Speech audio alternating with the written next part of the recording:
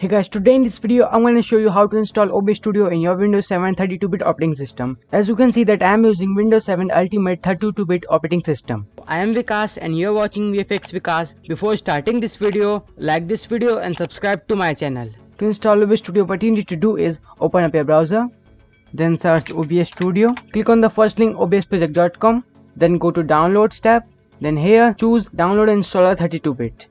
Then the OBS Studio setup will be downloaded. After downloading this setup, go to downloads folder. Then right click on the setup, select run as administrator. Then select yes. Then click on next. If you get this error, your system is missing runtime components that OBS Studio requires. Would you like to download them? Click on yes. Then this link will open up here. Then click on the first link Visual C++ 2019. Then the VC disk setup will be downloaded. Then go to downloads folder. Then right click on VC disk, select run as administrator.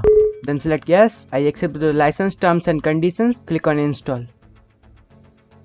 After installing, click on close, then go to that link again, then click on the second link, the universal C runtime update. Then scroll down, and here also ported x86 based version of Windows 10, then click on the download package now. Then click on download, then the update setup will be downloaded, go to downloads folder, then right click on the setup, select open, do you want to install the following Windows software update? Click on yes.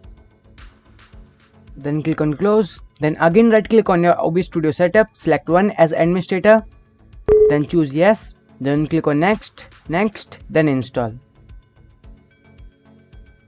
Then click on finish. As you can see that I have successfully installed OBS Studio on my Windows 7 32-bit operating system. If you get any another error failed to initialize video your GPU may not be supported, video link in the description and also in the app and go and watch now. So hope you guys like this video. If you like my video don't forget to subscribe my channel. Thanks for watching and don't forget to hit the bell icon. If you have any query or question comment down below.